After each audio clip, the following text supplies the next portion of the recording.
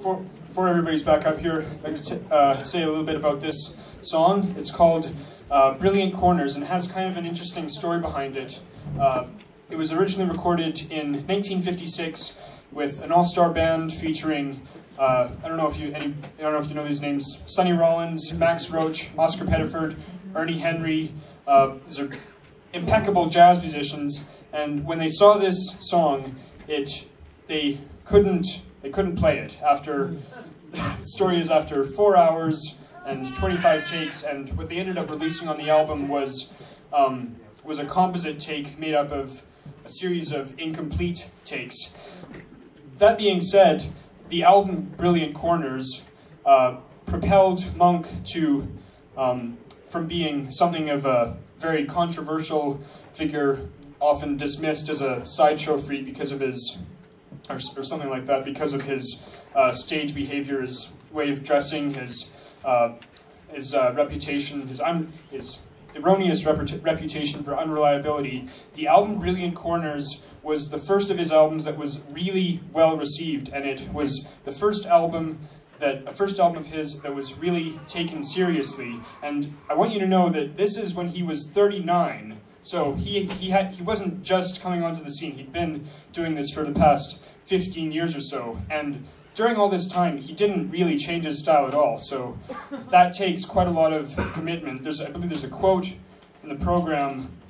Uh, I say, play what you uh, play your own way. Don't play what the public wants. You play what you want, and let them let the public pick up on what you're doing, even if it does take them 15 or 20 years. So,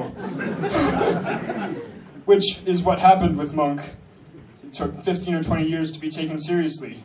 Anyway, uh, that that in and of itself takes quite a bit of commitment, and commitment to being honest and being yourself in your music. Anyway, with that out of the way, here is Brilliant Corners. Take one. Take one. See you in four hours. hours. By the way, by the way, uh, I mentioned about Monk's uh, stage antics. He would often rehearse uh, rehearse his band on stage. I mean that literally. He would actually teach the band the songs while he was on stage in front of the public. Anyway, hopefully that won't be happening tonight.